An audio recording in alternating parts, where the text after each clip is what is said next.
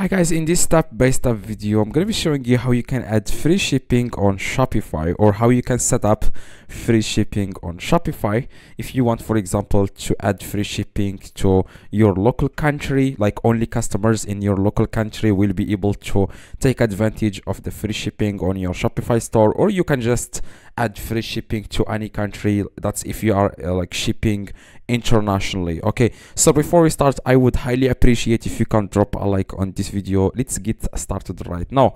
Now to add free shipping first you will have to log in into your shopify store okay? Now you just need to log in into your shopify dashboard as you can see here. Now after that you want to click on settings at the very bottom left okay? After guys you click on settings then what you guys need to do next eh, you want to click on here where it says shipping and delivery and then you want to click here it says general okay? You just need to click somewhere here it says general shipping rates. And then what you guys need to do you want to just scroll down okay? Just scroll down.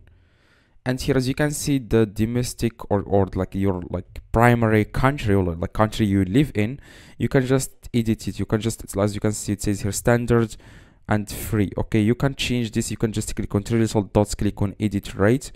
And you can just add here 0.00 and here the custom rate name i'm going to add here standard you can also add the custom uh, delivery description, which is going to be optional.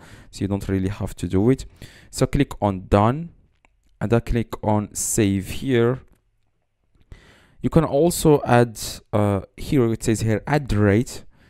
Um, like if you haven't set up the shipping yet, click on add rate. And then like here, 0.00, the custom rate name standard, standard. Click on done. Click again on save. Always make sure to save your changes. Now if you scroll down here where it says um, international as you can see uh, it is international. Here as you can see I'm charging currently 200 dirhams which is like $20 in dollar currency so you can always click on add rate or change it. Now you can just click on little dots if you already added the shipping price. Click on little dots click on edit rate. And then we add here point zero um, sorry point uh, 0 0.00 the custom rate name always standards click on done. Click on save.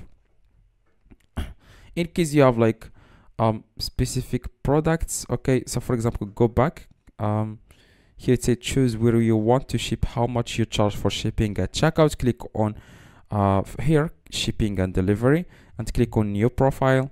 You can also add specific products that you want to ship with free shipping. For example this one. And you can add shipping zone.